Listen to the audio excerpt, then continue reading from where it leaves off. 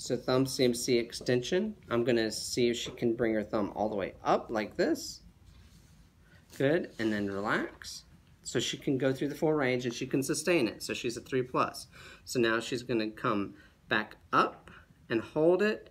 And now look, I'm pushing on the metacarpal, not the end of her thumb. You can see I can move her thumb a lot easier if I push down here.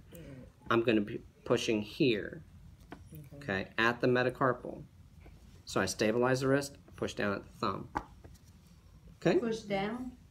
At the first metacarpal, yeah, for extension. Okay? So she was a five. But if she couldn't go through the full range of motion, then I'd have to put her in gravity eliminated, which would be this. And I just say, can you bring your thumb away from your pole? Eliminated palm down. Okay? Okay. What would you just sideways? Is what you would call this, or like a hand? It's like a handshake almost. Yeah, it's I'm saying for no, I'm saying for against gravity. Are you? Do you want us to say put your hand to the side?